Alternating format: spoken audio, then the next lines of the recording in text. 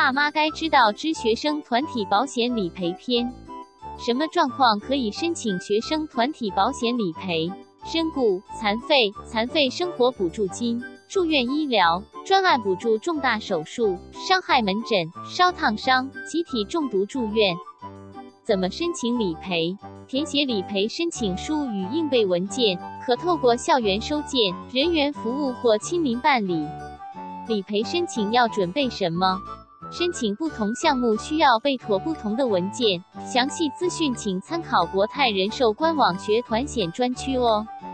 理赔前要了解的重要名词：被保险人。学团险中的被保险人是学生与幼儿，受益人则是依被保险人是否成年、申请什么理赔项目而有所不同。哪里可获得理赔申请书？可以向学校学保承办人索取。于国泰人寿官网学团险专区下载，也可向国泰人寿服务中心柜台索取喔。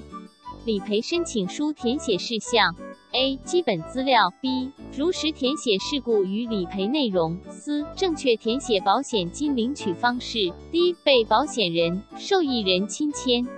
想了解更多学生团体保险资讯，请持续锁定国泰人寿粉丝团。